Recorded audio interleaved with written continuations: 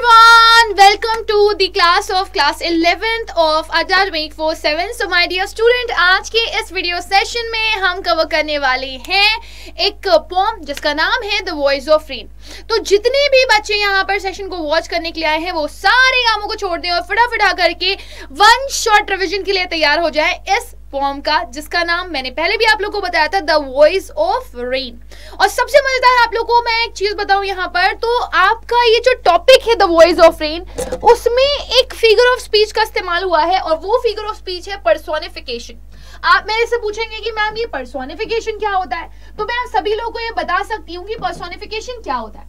Personification is nothing else but जब आपका कोई भी non living term living term या लिविंग थिंग की एक्टिविटी करता हुआ दिखाता है। तो अब आप सोचें कि रेन जो कि एक नॉन लिविंग टर्म है वो कोई भी ऐसी चीज़ नहीं है जो चलती फिरती चीज़ आपको दिखाई दे रही हो। वो क्या कर रही है? वो आवाज़ दे रही है या फिर वो कॉन्वर्जेशन कर रही है? तो जो वॉइस है वो रेन की कभी नहीं हो सकती। रेन एक साउंड ज़रूर प्रोड्यूस करती है जिसका नाम है पिटर पैटर राइट लेकिन रेन कभी भी वॉइस प्रोड्यूस नहीं कर सकती। सो so, क्योंकि यहाँ पे नॉन लिविंग थिंग की साउंड प्रोड्यूस करी गई है this shows completely that this is personification So we can say that in the topic we have personification which is used. Now let's uh, start with the poem of this. आपको बताती चलूँ this poem is written by Walt Whitman बहुत ही खूबसूरती से और बहुत ही आसान और साधारण शब्दों में इस पोम को लिखा राइट right? इन्होंने अपनी पोम में हमें क्या बताया है इन्होंने अपनी पोम में हमें बताया है कि आपको जान करके ये हैरानी होगी कि इनकी बातचीत हुई किससे voice. Now just think of this. Voice is, uh, voice is produce by the human being अगर कोई नॉन लिविंग थिंग उसे प्रोड्यूस करता है तो आप भी हैरान हो जाओगे। सोचो आपका पेन दरवाज़ा लाइट किताबें आपसे बात करने लगे तो क्या हो? सिमिलरली ऑथर क्या कर रहे हैं? बात कर रहे हैं रेन से। वो क्वेश्चन पूछते हैं कि तुम कौन हो? तो वो कहती है I am the voice of rain I am the song of rain right तो इस तरीके से उससे बातचीत जब शुरू होती है ऑथर की तो ऑथर को वो पूरा का पूरा एक्सप्लेन करती है कि किस तरीके से वो ओरिजिनेट होती है, वो कैसे ऊपर जाती है। फिर वापस वो कैसे नीचे आती है? तो इस तरीके से वो अपनी साइकिल को कंप्लीट करती है। So ultimately you'll come to know that that here we have just shown the complete process of the water cycle right right? तो बड़ी खूबसूरती से एक बहुत ही प्रॉपर स्ट्रक्चर में, एक पॉम के फॉर्म में जो ऑथर हैं, जो हमारे पोएट हैं, उन्होंने हमें बहुत प्यार से एक पोम का पूरा का पूरा फॉर्मेशन दे दिया वाटर साइकिल का राइट नाउ अब उसके बाद वो अपने आप को कंपेयर करते हुए दिखाई दिए हैं कि किस तरह से वो कहते हैं कि जैसे कि रेन अपनी वाटर साइकिल को कंप्लीट करती है, वैसे ही पोएट अपने सॉन्ग को कंप्लीट करते हैं। रेन का जो ओरिजिनेशन होता है, वो वाटर एरिया से होता है या लैंड एरिया से होता है, वैसे ही जो पोएट है, उनके जो सॉन्ग का क्रिएशन है, वो उनके दिल से शुरू होता है। और फिर कैसे वो उनके सोल को छोड़ता हुआ, गोल गोल घूमता हुआ वापस उनको एज रिवर्ट मिल जाता है। जैसे कि रेन वापस कहाँ पहुँच जाती है, ऊपर से बरस करके, ज़मीन के अंदर या पानी के अंदर। सो so, उन्होंने अपने आप को कंपेयर uh, किया है विद रेन और कैसे वो एक दूसरे के इक्वल है उन्होंने यहाँ पर ये बताने की कोशिश करी है। So as I told you this poem is really very beautiful और जब आप इसको पढ़ेंगे तो आपको बहुत ही अच्छा लगेगा।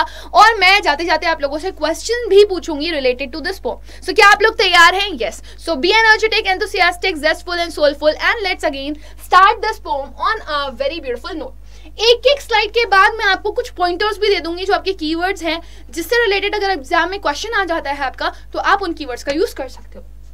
So now let's begin and let's start with this poem and who art thou तो and who art thou art refers to are and thou refers to you which I have given it to you who art you that means who are you said I to the soft falling shower And whose I in the poem? He is the poet, Walt Whitman. है ना? And soft falling शार का मतलब क्या है? It is drizzling हल्की फुल्की बूंदाबांदी हो रही है ना? बहुत तेज मूसलाधार बारिश नहीं हो रही। मूसलाधार बारिश को बोलते हो आप डाउन पॉर राइट सो ये कह रहे हैं, और तुम कैसी हो? और फिर पोइट हमें ये बता रहे ये मैंने पूछा, किससे?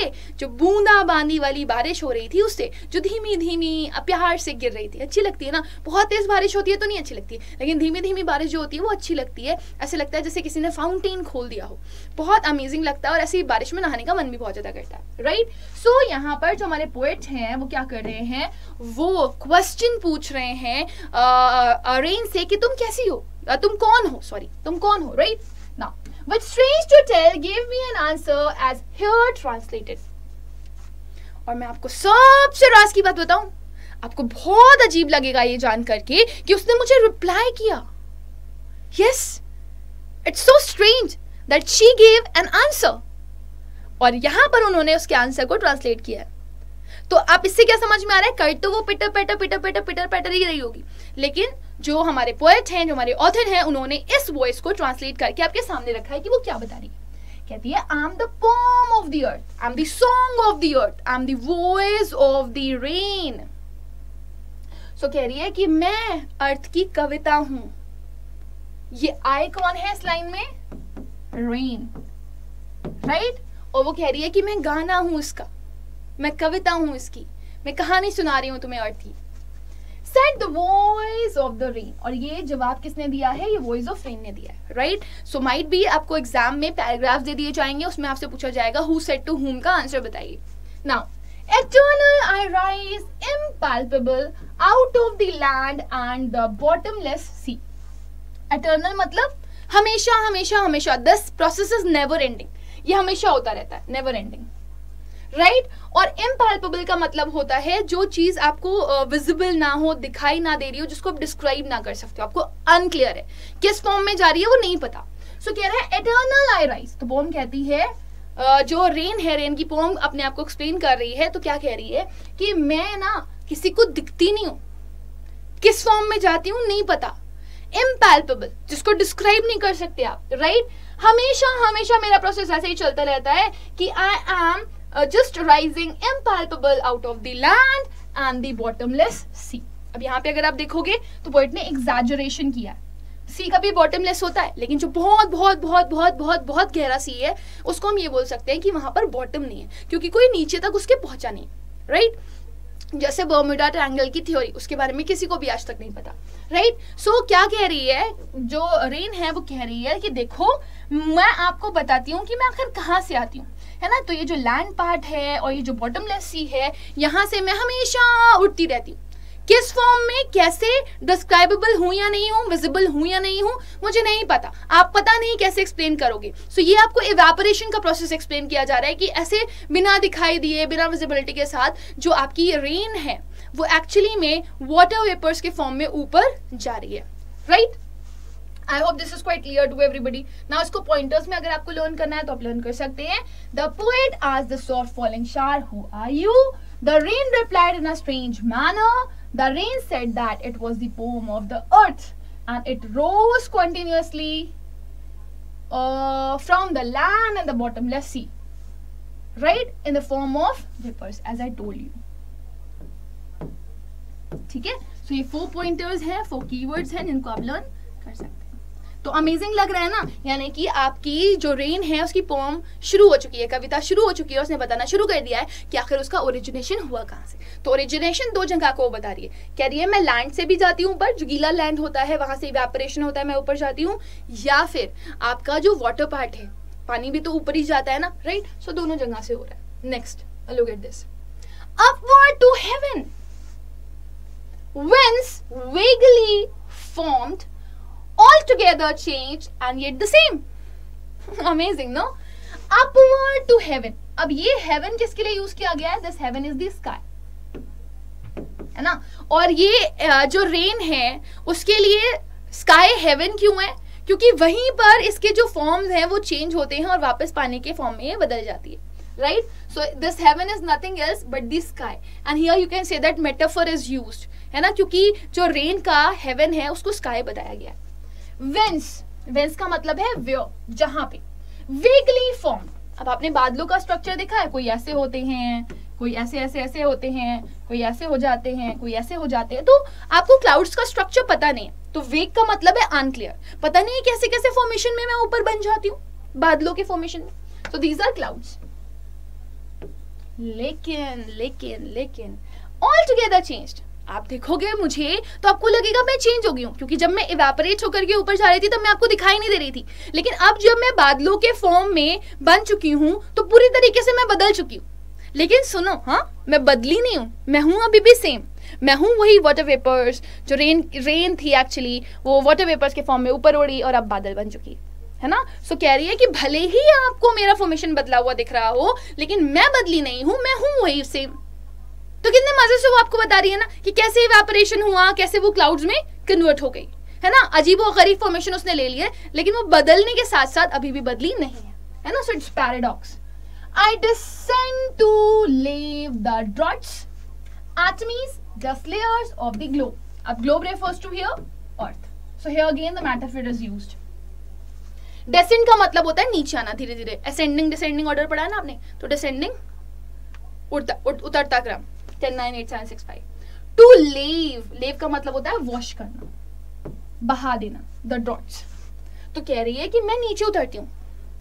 अब जो आपको पता है कि जो वाटर है वाटर ड्रॉपलेट्स में कन्वर्ट होती है कंडेंसेशन होता है, वो धीरे धीरे धीरे धीरे धीरे धीरे करके जो हमारी बादल हैं, वो क्या करते हैं कंडेंस होकर के बौछार करना शुरू करते हैं, बारिश करना शुरू करते हैं राइट और जब बारिश होती है तो वो सारी चीज़ों को बहाती हुई चली जाती है।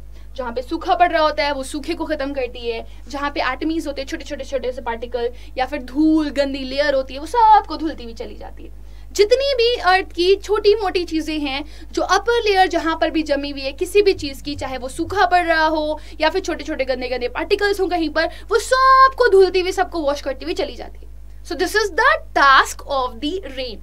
When it comes down, it just wash away everything, every bad thing which is on the globe, which is on the earth. Now, and all that in them without me were seeds only. Latent unborn अब यहीं पर एक छोटा सा नया सा cute सा प्यारा सा कुछ अलग सा चीज़ भी हो रहा है जिसको हम देख नहीं सकते। और यहीं पर इन सभी के अंदर मुझे कुछ मिलता है। क्या मिलता है?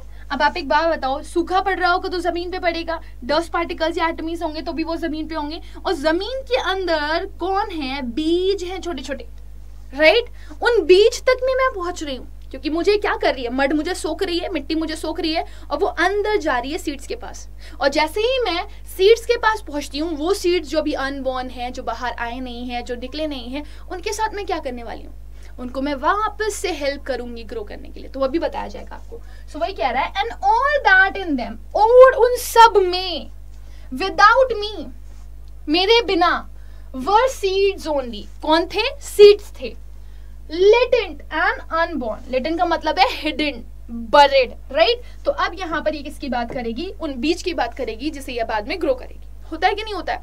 बीज जब तक बारिश नहीं होती या पानी नहीं डालते हो, तब तक वो उग पाते हैं, नहीं उग पाते so this is the task of rain to grow them है ना? To nurture them to foster them so यहाँ पर पूरे पैराग्राफ में आपको क्या पता चला कि जो आपकी रेन है, वो बता रही है कि कैसे वो ज़मीन से और पानी से उठ करके ऊपर जाती है, ऊपर जाकर के वो बादलों में कन्वर्ट होती है। उसके बादल के फॉर्म अलग अलग अनक्लियर से आपको दिखाई देंगे, लेकिन चेंज भी हो चुकी होगी वो, लेकिन एक्चुअली में वो होगी रेन नहीं।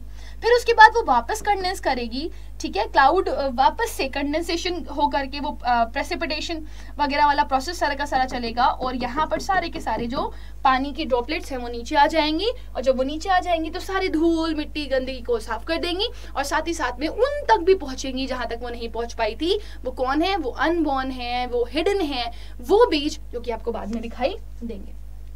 ठीक है? ना अगर आपको उसको पॉइंटर्स में लर्न करना है तो आप कैसे लर्न कर सकते हैं? See The rain tells the poet that it rises upwards towards the sky in the form of vapor.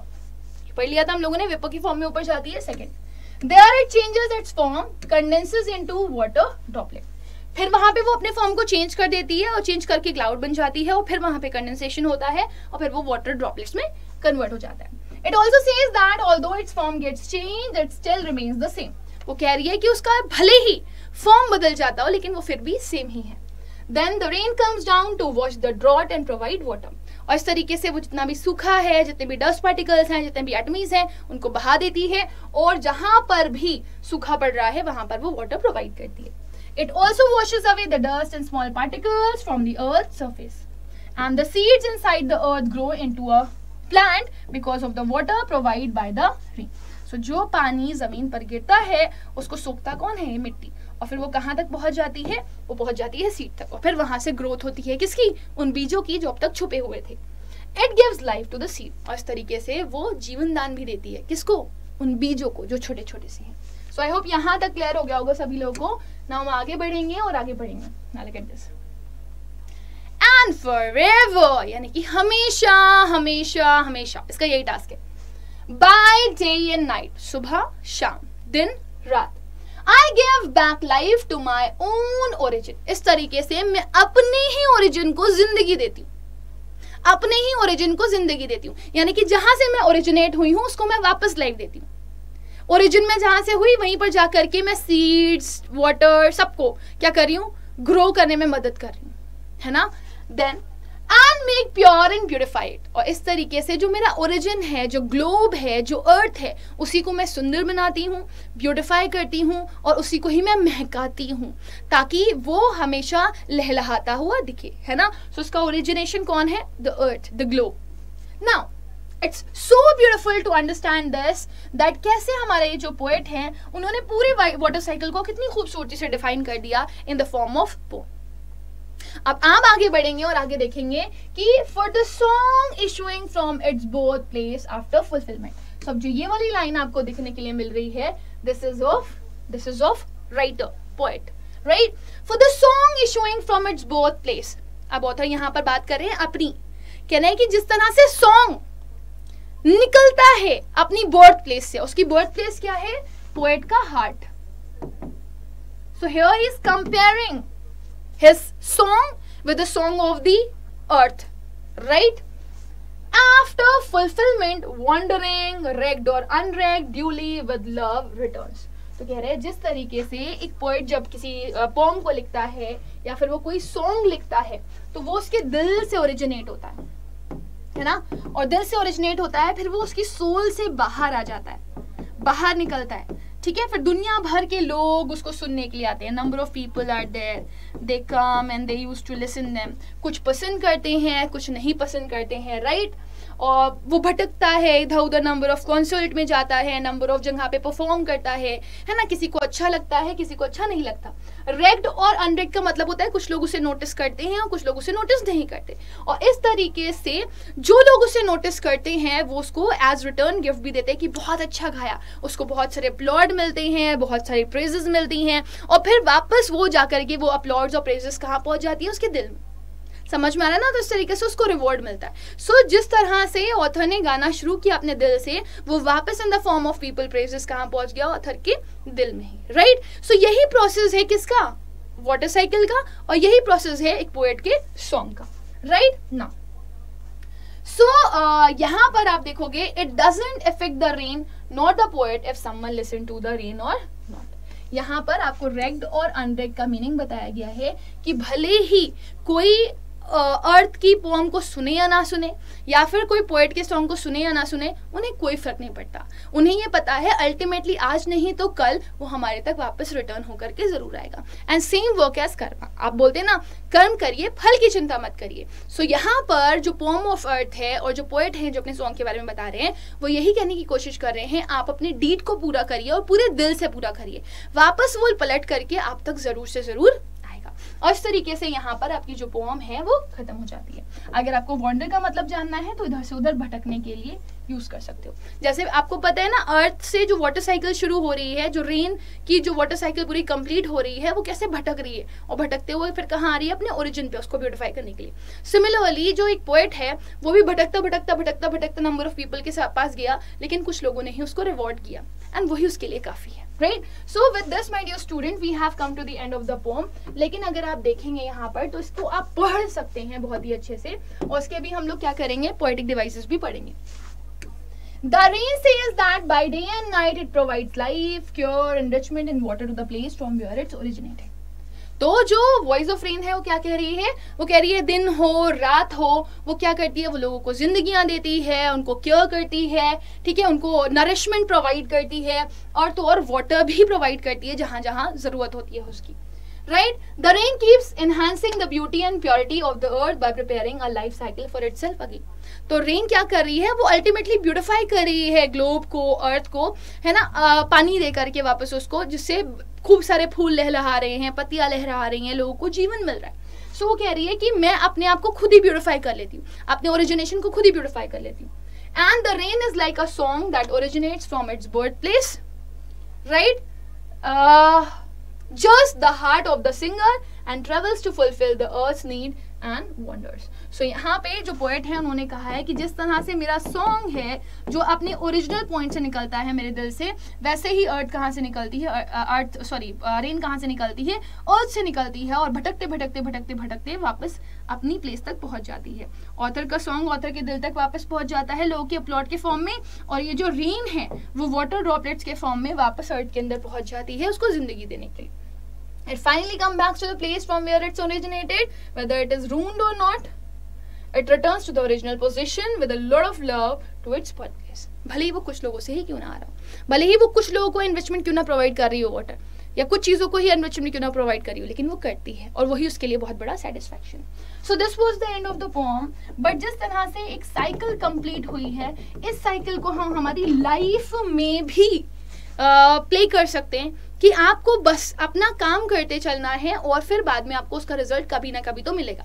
बहुत वाओ टाइप्स ना मिले लेकिन कुछ ना कुछ तो ज़रूर से ज़रूर मिलता है। So this is a very inspiring poem which is written in a very simple word by Walt Whitman और बड़ी ही खूबसूरती से उन्होंने यहाँ पे वाटर साइकिल को भी एक्सप्लेन कर दिया और अपने सॉन्ग को भी एक्सप्लेन कर दिया और उनका कंपेरिजन भी करवा दिया। So now will move ahead अब हम लोग आगे बढ़ेंगे और हम लोग इसके uh, जो फिगर ऑफ़ स्पीच है या पोइटिक डिवाइसेस है उनको भी पढ़ेंगे। तो so, क्या आप लोग तैयार हैं? Yes so figure of speech आप बोल दीजिए इनको।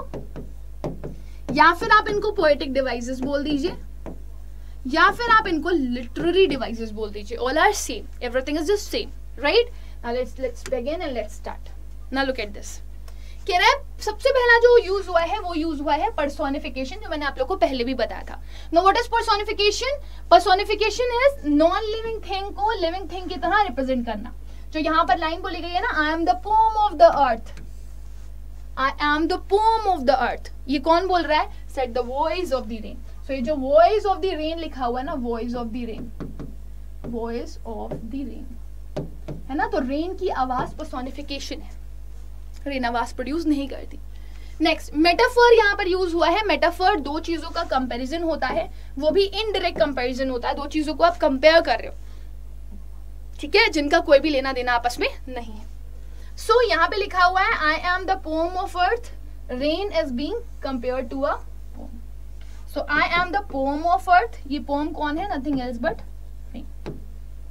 हाइपर बोले जैसे आप एग्जैजुरेशन बोलते हो बढ़ा चढ़ा करके चीज़ों को बोला गया है। जैसे मैंने आपको बताया था बॉटमलेस सी है ना? एक ऐसा सी जिसका बॉटम ना हो।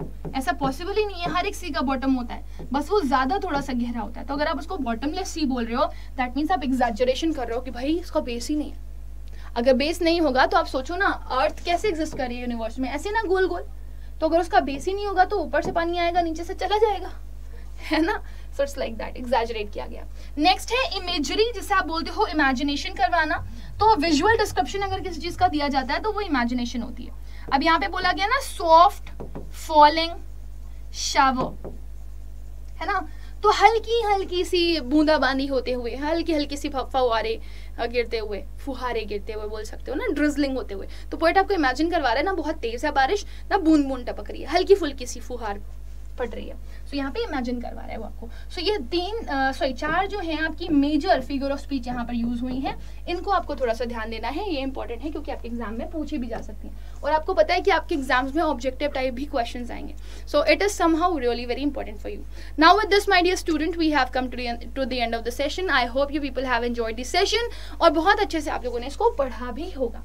Right right? लेकिन मैं जाते जाते एक क्वेश्चन ज़रूर आप लोगों से पूछूँगी यहाँ पर, जो कि बहुत इंपॉर्टेंट है। And the question is how poet compared its song with rain है ना?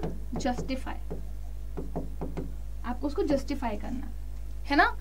या एक्सप्लेन करना. सो so, ये क्वेश्चन है जो कि मैं आपको होमवर्क में दे रही हूँ। आप मुझे कमेंट सेक्शन में ज़रूर बताइएगा कि इसका आंसर क्या होगा।